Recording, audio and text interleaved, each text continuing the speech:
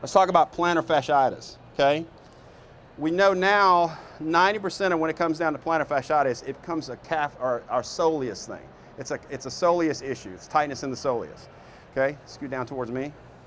So what I want to do is actually, I want to unload the Achilles tendon. I want to unload the plantar fascia by using a tape that's going to allow her to have normal gait, okay? But also change the load there. So what I'm going to do is, and these pre-cut pieces are pretty cool.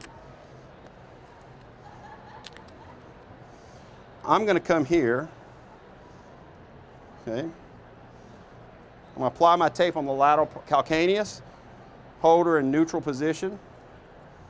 I'm going to come around the heel and apply 25% tension along the medial, along the lateral arch.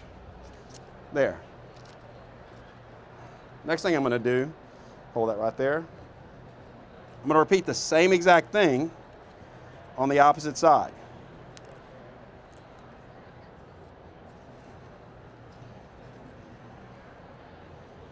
And now what I've done, I created kind of a functional arch, okay? That's actually supporting calcaneus and midfoot. So stand up, Becca, and just kind of stand there. Now I've got a tape job that doesn't restrict her movement, okay? And so face to your right.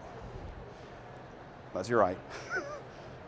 step forward, okay? And then step backwards.